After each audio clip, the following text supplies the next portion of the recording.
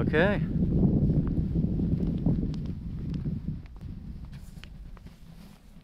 All right, so uh,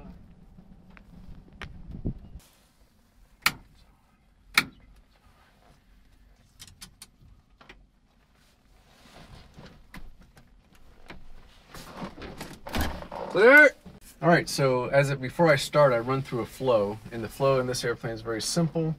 I start on the left side. This is my throttle right here for the engine. So that's like your gas pedal.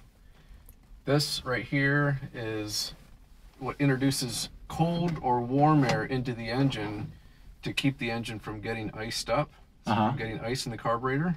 So right now it's in the cold position. The throttle is just cracked.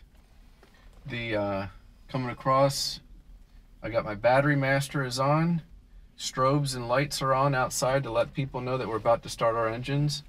All of our circuit breakers are in. The fuel air mixture control is all the way forward. So that's the the the rich position, and then this is my starter. So I'm gonna go ahead and start it. As I start it, I'll pump the throttle a couple of times, and that'll shoot fuel into the carburetor up into the engine. Serves as a primer.